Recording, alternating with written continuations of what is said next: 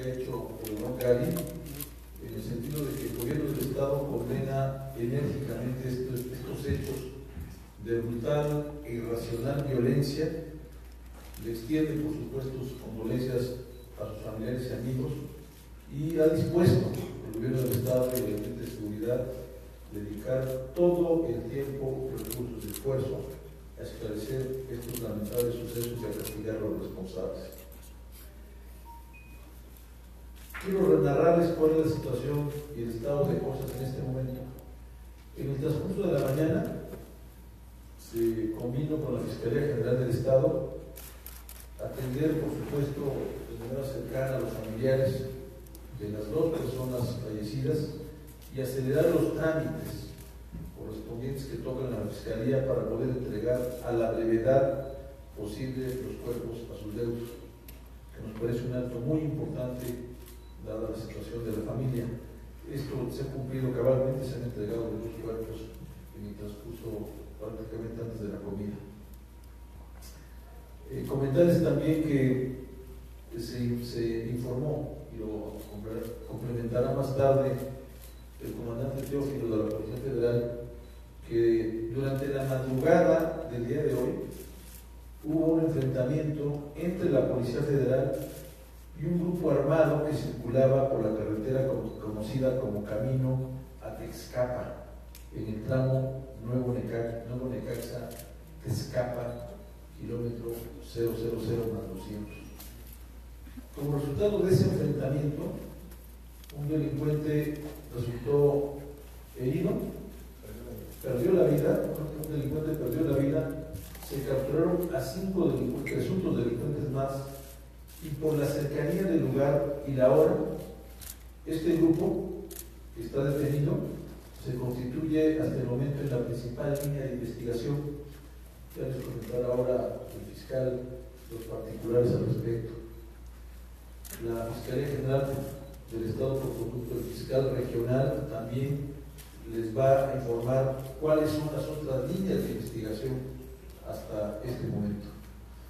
Debí decirles finalmente que se ha designado a un grupo de fiscales especiales para dedicarse de tiempo completo al esclarecimiento de estos lamentables sucesos hasta dar con los responsables y castigarlos con todo el rigor de la ley. Este es el estado de cosas que guarda esta lamentable suceso hasta estas horas. Si me lo permiten, le voy a pasar el uso de la palabra al fiscal Huerta para que nos les comente, nos comente cómo están las líneas de investigación cómo ocurrieron los hechos. Y posteriormente al comandante del Cordón Estatal de la Policía Federal, Teófilo Gutiérrez, para que particularice en, en, las, en el enfrentamiento y las características de estos detenidos a que he hecho referencia. Posteriormente, eh, con el secretario de Seguridad Pública y por supuesto con los presentes, daremos respuesta a algunas de las inquietudes que nos planteen sobre este tema en particular. Adelante, fiscal. Gracias, secretario. Buenas tardes a todos. La Fiscalía General del Estado, a través de la Fiscalía de Investigación Regional, practicó la diligencia de levantamiento de cadáveres de las personas que en vida llevaron por nombres Juana Elaís N., candidata a diputada local de Bauchinango, y Erika N., regidora de salud de Juan Segaíno, en la localidad de Cacahuatlán, perteneciente al municipio de Ciguatelco. Observando que los cuerpos presentaban impacto de arma de fuego, a partir de ello se dio intervención al Ministerio Público, elementos de la Agencia Estatal de Investigación y peritos en criminalística de campo, procesador, balística, también se utilizó dron y escáner 3D y topografía, entre otros, a fin de realizar las investigaciones determinantes para la investigación. Se relacionan con los siguientes hechos las líneas de investigación que a continuación se mencionan. En relación a este evento, horas después del suceso en el que fueron privados de la vida las personas mencionadas, en el kilómetro 00 más 200 de la carretera federal México-Tuxpan, elementos de la Policía Federal destacamentados en Bauchinango, Puebla, le marcaron el acto a un vehículo compacto de color blanco con vidrios polarizados, del cual descendieron dos sujetos de 10 y 11 de la noche, eh, y partiendo del supuesto de que estos, estas cinco personas fueron aseguradas entre 3 y 4 de la mañana en la México Tuspan, en el kilómetro mencionado, hay inmediatez en relación al lugar, es decir, la misma ruta, la eh, carretera inmediata al lugar. Eh, también tenemos coincidencia en cuanto a las armas empleadas. Los indicios balísticos recolectados en el lugar de la escena, donde fueron privadas de la vida los femeninos, eh, son calibre 9 milímetros. Y las armas, las armas aseguradas a los imputados también son 9 milímetros.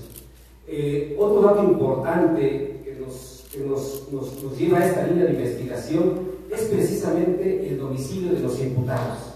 Tres de ellos viven en Huachinango, Puebla, y uno de ellos en la Unión Ciguatempla, lugar donde fueron privados de la vida los femeninos. No se descartan otras líneas de investigación de carácter legal, las cuales existen, otras rencillas con particulares.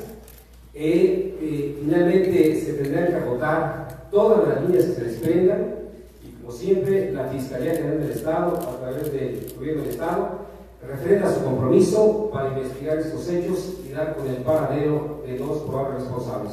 Muchas gracias. Muchas gracias, fiscal Huerta.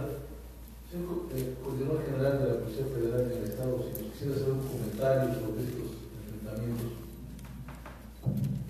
Sí, muy buenas tardes a todos. Gracias, señor secretario.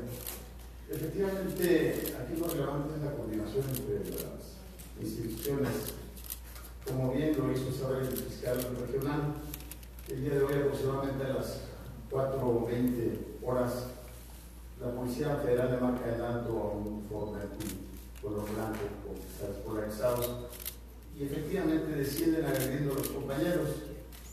Se repele la agresión y hay un segundo vehículo, una suburban, que retorna y se suma a la agresión contra la Policía Federal Finalmente fallece uno de los agresores, se aseguran cinco más, se aseguran cinco armas que ya bien describió el señor fiscal regional y total de cartuchos son 172 en los calibres que tenemos 40, 9 milímetros y 22. Creo que los datos que mencionas concuerdan con los horarios, vaya, eh, hay un elemento de la Policía Federal con una lesión mínima que no tiene, pone en peligro la vida. Pero el compromiso de la Policía Federal es proteger y servir a la comunidad y lo estamos demostrando día a día. Pero en ese día a día vamos sumados con el Estado y con los municipios para que podamos hacer el frente que Puebla necesita. Gracias.